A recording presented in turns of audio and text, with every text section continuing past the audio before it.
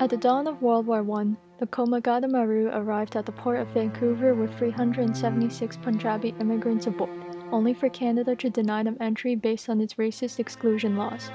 For months, the passengers suffered terrible conditions before being forced to return to India. Members of the Sikh nationalist Ghadar movement began to arm themselves.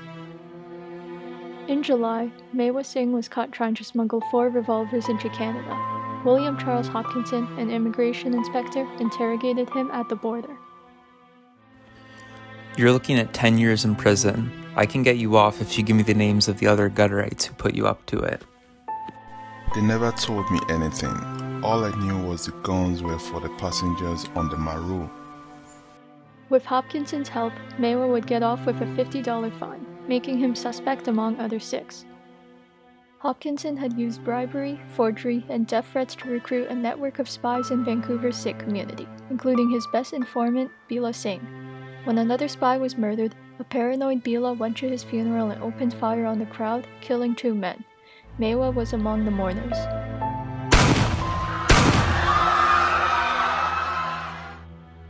Bila claimed he acted in self-defense.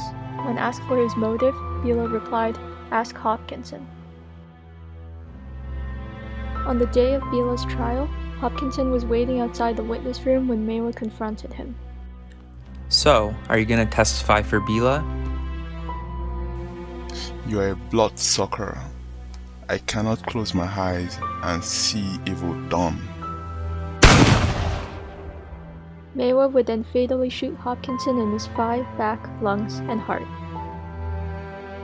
Mewa's trial was held in October. Mewa spoke little English, but his lawyer Edward Woods read his statement. These people have disgraced us altogether.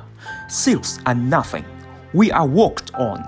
It is better for a Sikh to die than to bring such disgrace and ill treatment in the temple. After only an hour and 40 minutes, Mewa Singh was found guilty and sentenced to death by hanging. Mewa Singh was executed on January 11, 1915. Afterward, a procession of 406 carried Mewa's body to his funeral pyre. To this day, many Sikhs see Mewa as a martyr for freedom.